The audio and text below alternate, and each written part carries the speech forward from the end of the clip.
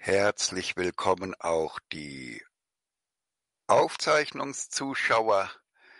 Ja, mal gucken, ob der Text schon da ist, wie schnell das ist. Na, na, noch ist er nicht da. Oh, kommt noch nicht. Da ist es doch. Next Scientists for Future is live. Ganz Gallien ist besetzt. Äh, die ganze Welt ist äh, von Irrenden besetzt. Die ganze Welt? Ganz Gallien? Äh, die ganze Welt? Nein. Ein von Unbeugsamen bevölkertes Dorf hört nicht auf, Widerstand zu leisten. Ja, das ist die Situation. Ja, das ist die Situation des Dorfes Weltrat in der Welt. Sogar diese ganz großen Namen wie Professor Richard Dawkins, Professor Franz de Waal, Professor Wrengham und all diese anderen großen Namen sind alle voll von den üblichen Irrtümern, nämlich von all den Irrtümern, ja, die wie entstanden sind. Ganz kurz, äh, erst einmal hier ausführlicher. Hier haben, haben wir auf der Seite hier ratderweisen.beepworld.de. Brauchen Sie nur eintippen, dann haben Sie immer hier neuesten Stand. Da ist immer die neueste Sendung, so eine zweistündige Sendung, die wirklich alles erklärt. Die müssen Sie dann halt aufrufen und das ist immer die Lesung von Richard Dawkins. Äh, äh so finden Sie immer, können Sie immer gucken, was ist gerade die aktuellste der alles erklärenden Sendung. Aber die dauert zwei Stunden. Ich will es ja jetzt in drei Minuten machen. Und zwar, was ist eigentlich passiert? Warum ist die ganze Welt von, voll von Irrenden und ausschließlich und es, warum gibt es nur dieses eine kleine gallische Dorf Weltrat sozusagen? Ja, das liegt daran, dass ab dem Tag, an dem der erste Tauschhändler die Evolution betreten hat, der erste, der sich entschied zu leben von dem Vertauschen von Dingen. Letztens hat wieder jemand so naiv erzählt, äh, äh, dass irgendwie, äh, ja, die Tiere doch auch mit ihren Symbiosen und so weiter, das sind doch, ist doch auch alles Tauschhandel. Stimmt nicht. Tauschhandel beginnt erst dann, wenn ich Güter anhäufe, diese Güter wieder an andere vertausche, um noch mehr Güter zu erhalten, also wenn ich einen richtigen Laden, ein richtiges Geschäft mache, egal ob mit Geld oder ohne Geld, damals natürlich vor 400, 300, 200.000 Jahren, alles noch ohne Geld. Geld kam ja erst vor etwa 40.000 Jahren auf. Aber dieses Geschäft, dass ich mit die Waren horte und vertausche, um noch mehr Waren zu haben, um zu akkumulieren, um anzuhäufen, all das habe ich noch bei keinem einzigen Tier gesehen. Oder haben Sie ein Tier gesehen, das also mit einem Kramwarenladen äh, mit mit lauter Gütern äh, sozusagen, so wie bei den Indianern, so mit den äh, klappernden äh, Töpfen und Deckeln da von von äh, von äh, Indianerstamm zu Indianerstamm fährt, um den Leuten Dinge zu vertauschen, um dabei irgendwie Dinge einzutauschen, mit der man, mit denen man noch erfolgreicher wird. Sowas habe ich bei Tieren noch nie gesehen. Also ist das die einzigartige Eigenschaft, die noch nicht einmal, zum Glück noch nicht einmal die Bonobos erfunden haben, sonst könnten wir von denen nicht so viel lernen, sondern nur wir Savannenbonobos fingen an vor 400, 300, 200.000 Jahren mit diesem Geschäft des Tauschhandels. Und dadurch, und das Bild hier zeigt es ja, dadurch entstand die Welt aus Sparten. Das wären hier, das wäre die gesamte Welt. Und hier kann man dann die Sparten eintragen. Das habe ich in dieser Kritzelei mal schon gemacht für Sie. Ja, die Sozialsparten, die Weltsozialsparten, NGOs, die Nahrungssparten, Gesundheitssparten, Waffen, Alkoholsparten. Gerade, gerade verdienen ja richtig schön die Gesundheitssparten und die Waffensparten verdienen richtig schön Geld, ja. Und dass deswegen eine völlig neue Evolution entstand. Es entstand eine neue ökologische Nische. Man konnte jetzt plötzlich mit Irrtümern den Umsatz von Waffen vergrößern, mit Irrtumsgeschichten. Eine Gruppe hat angeblich die andere nachts überfallen und totgeschlagen. Schon kriegen die Leute, die Zuhörer Angst und kaufen mehr Waffen. Äh, und äh, der, der Waffenhändler muss sich da in keinster Weise bewusst sein, dass es sich um eine Irrtumsgeschichte handelt, sondern er glaub, hält diese Geschichte für Wahrheit. Und äh, ja, und äh, die, die äh, Alkoholindustrie, die glaubt, äh, dass eben äh, Alkohol ein wertvolles Genussmittel sei, das eben zu einem guten Leben dazugehöre, genauso wie Tabak und so weiter und Zucker und so weiter. In Wirklichkeit machen sie uns alle krank und vor allem glauben diese Industrien, Alkohol, Tabak, Zuckersparte zum Beispiel auch, dass äh, äh eben, ja, zum Beispiel solche Dinge wie oh, Körperkontakt, Sex und Liebe, das ist ja ganz schmutzig und eklig und böse und ach nein, da, das ist ja widerlich, hört auf damit, ja, denn und, und der Witz ist, die glauben solche Irrtümer wirklich, wir nennen sie ja vorteilbringende Irrtümer. Und, und dadurch, dass sie diese Irrtümer wirklich glauben, ist ihre von großem Reichtum aus verbreitete, sich ständig multiplizierende Botschaft, die hört auf mit Liebe, Sex und Zärtlichkeit. Die Menschheit ist verklemmt wie noch nie. Ja, aber stattdessen saufen wir und kaufen wir Alkohol und Tabak und Zucker und all den Kram. Kaufen wir massenweise. Ja, das heißt, diese Irrtümer und und all diese Irrtümer, die haben sogar Dawkins erreicht. Also er hat ja damals erkannt an der Anekdote vom Rechtsanwaltsunwesen, während äh, der Weltrat ja gegründet wurde, rund um die Anekdote vom alten China des Gesundheitswesens sozusagen. Äh, und äh, Dawkins hat diese Anekdote vom Rechtsanwaltswesen äh, geschildert und dieses sind ja völlig parallel, ja. Also hier Rechtsanwälte, wo steht es? Rechtsanwälte, hier müsste es doch irgendwo stehen. Da, Rechtsanwälte. Ich kann ja nochmal das umgedrehte Bild, dann kann man das vielleicht mit, hier kann man das mit dem Rechtsanwalt besser lesen. Rechtsanwalt soll das heißen, die Kritzelei. Ja, und Gesundheitswesen und Rechtsanwaltwesen, das ist das gleiche Problem. Immer kann, wenn zufällig ein Irrtum entsteht, die Sparte dadurch mehr verdienen, dass sie uns Menschen schadet und dadurch mehr Profit auf uns raus, rausholt. Die Gesundheitssparte natürlich, indem sie Krankheit vergrößert und Krankheit verlängert, Krankheit chronifiziert und so weiter und bloß keine Krankheiten verhindert sozusagen, sondern einfach nur Medikamente, Impfungen, Operationen verkauft und so weiter und daran äh, sich eine goldene Nase verdient auf unsere Kosten, ohne dass es ihr bewusst ist. Also hört auf mit Schuldvorwürfen, keine Verschwörung am Laufen. Das ist einfach nur Evolutionsbiologie. Still und leise, ohne böse Absicht entsteht die Hölle auf Erden. Entstand in den letzten 400.000 Jahren die Hölle auf Erden. Ne? Und der Rechts, die Rechtsanwälte können halt nur dann, indem sie die Prozesse künstlich aufblähen und streitig gestalten. Dadurch müssen wir am Ende mehr zahlen und die Rechtsanwälte können mehr verdienen. Ne?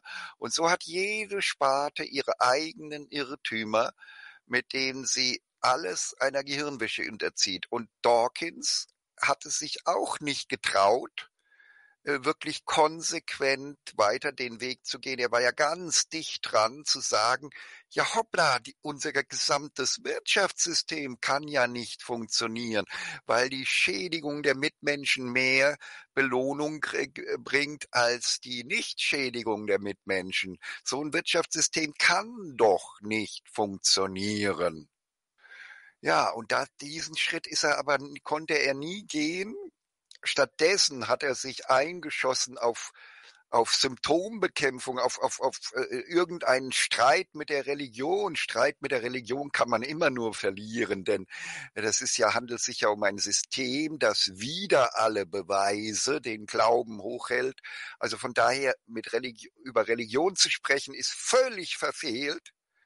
Äh, und, äh, äh, und, und er hätte weiter darüber sprechen müssen, über die Ursache aller Ursachen, dass das Wirtschaftssystem nicht funktioniert. Und das ist sein großer Lebensirrtum, warum nicht er der Nächste nach Charles Darwin geworden ist, sondern der Weltrat das Nächste nach Charles Darwin geworden ist, nämlich die, die erkannt haben, dass der, die Erfindung des Tauschhandels den ganz neuen Evolutionsverlauf gebracht hat, nämlich, dass die Schädigung durch äh, anderer Menschen, durch parasitäre Meme, Killerviren des Geistes, irrationale Kognitionen, vorteilbringende Irrtümer im Sinne einer Gehirnwäsche, Manipulation, Propaganda, Werbung, unser aller Leben und die ganze Erde zerstört, ja, das äh, ist genau das, äh, worum es letztendlich äh, geht, ja.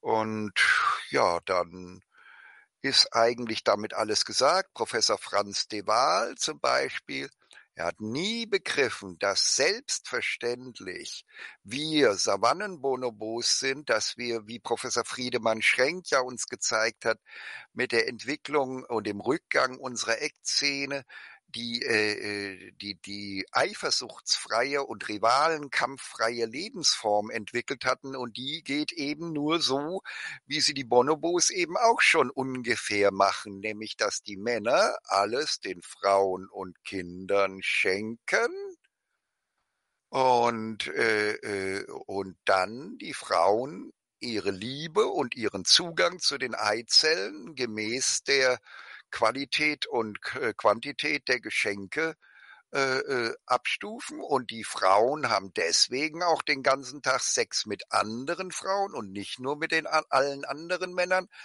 weil erstens mit den Männern haben sie alle Sex, weil dann nämlich kein Mann weiß, wer der Vater welches Kindes ist. Und dann müssen sich alle gezwungenermaßen alle Männer als Väter aller Kinder verhalten und fühlen und empfinden.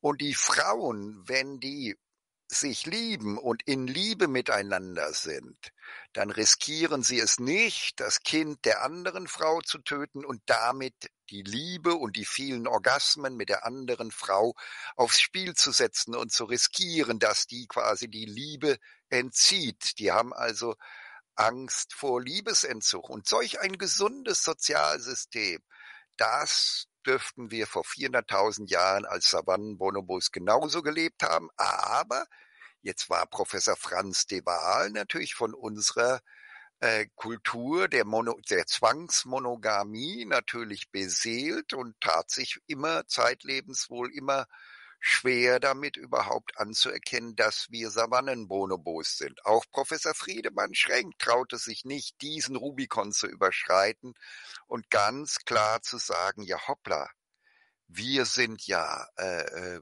wir sind ja pazifistische äh, Savannen-Bonobos ähm, äh, ohne große Eckzähne, ohne Rivalenkampf, ohne Eifersucht und äh, damit haben wir alle Voraussetzungen, äh, parallel zu den Bonobos äh, pazifistisch leben zu können, bis auf die wenigen richtigerweise von Professor Volker Sommer geschilderten kleinen Gewaltakte. Den Bonobos sind auch ganz normale Säugetiere. Die haben das Potenzial zum Mord und Totschlag genauso wie alle anderen hochentwickelten Säugetiere oder Primaten und so weiter, ja. Also wie wir auch, wie alle. Nur, dass das Sozialsystem der Bonobos die Gewalt auf ein ganz kleines Ausmaß zurückgedrängt hat. Und wenn wir das vor 400.000 Jahren auch gelebt hatten, also auch ja eigentlich Savannen, Bonobo, Schenker, kommunistische Gruppenehetiere sind, ja, dann, äh, dann, äh, dann äh, verstehen wir, warum natürlich dann äh, die Monogamie natürlich nicht in der Lage ist, Gewalt zu verhindern, sondern eher wieder zu gewalttätigen Eifersuchtsdramen und so weiter führt. Ne?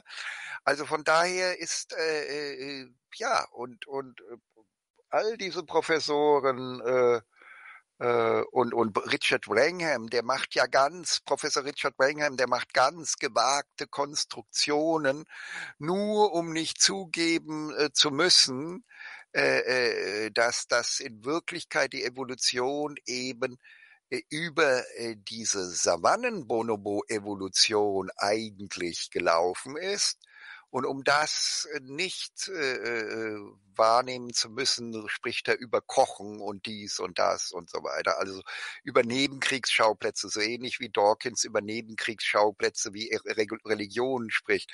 Wobei man nochmal ganz klar sagen muss, der Tauschhandel, die ersten Spuren von Hinweise für Tauschhandel beginnen so 400, 300.000 Jahre äh, vor, vor 400, 300.000 Jahren.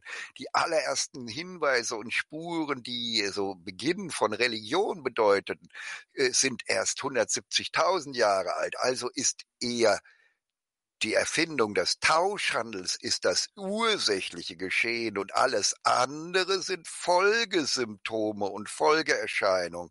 Ohne die Erfindung des Tauschhandels hätte es zum Beispiel vor 40.000 Jahren nie die Erfindung des Geldes gegeben, weil man das Geld gar nicht gebraucht hätte als Vereinfacher des Hortens und Akkumulierens von Gütern sozusagen. Ja, und so ist, ist das, hängt das alles zusammen. Also, ich gehe nochmal zurück. Hier, wo sind wir denn? hier, hier war es, glaube ich. Ja, also da war diese Seite und dann war das, glaube ich, hier, ja. Also noch einmal.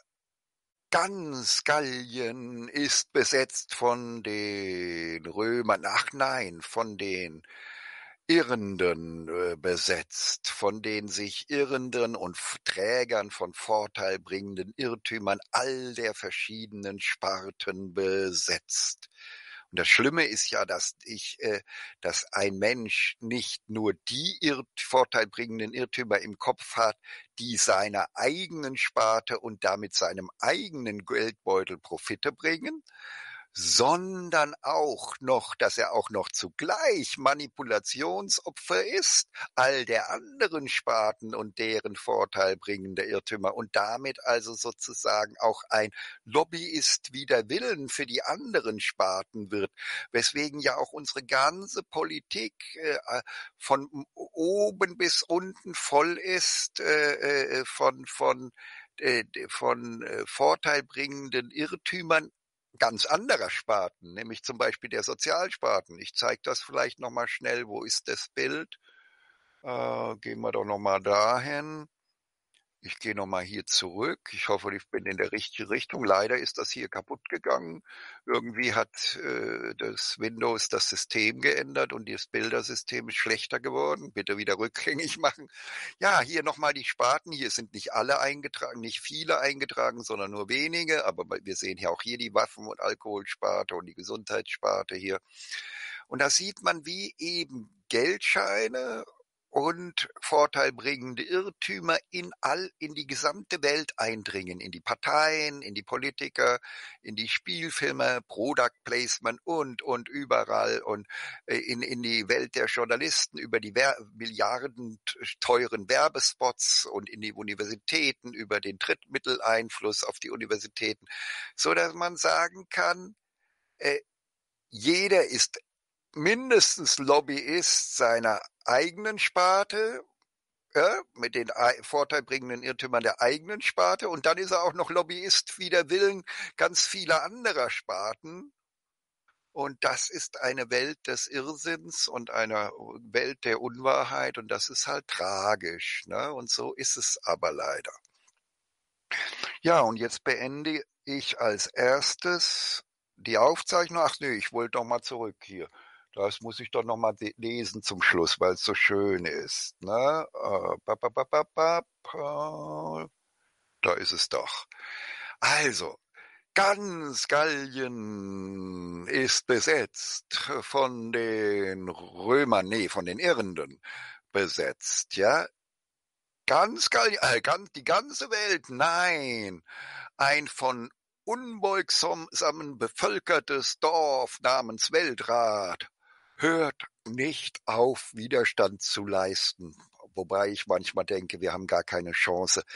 Wenn einmal die Welt so verrückt geworden ist wie jetzt, was, was soll man da, wie soll man, wie soll man dagegen angehen, wenn jeder Mensch rumläuft und stolz darauf ist, die Irrtümer äh, und seine Irrtümer für Wahrheiten fälschlicherweise hält und stolz ist auf sein tolles Wissen in Wirklichkeit alle nur Irrtümer haben, sogar Professor Richard Dawkins, Wrangham, äh, De Waal, äh, Friedemann Schränk, wie sie alle heißen, alle überwiegend dann doch nur voll sind von Irrtümern. Ich glaube, da ist eigentlich äh, gar keine Chance. Naja, ich beende als erstes die Aufzeichnung. Nochmal ein Winke-Winke an die Live-Zuschauer. Ja, also, äh, nee, die Aufzeichnungszuschauer. Die Live-Zuschauer können es ja nicht.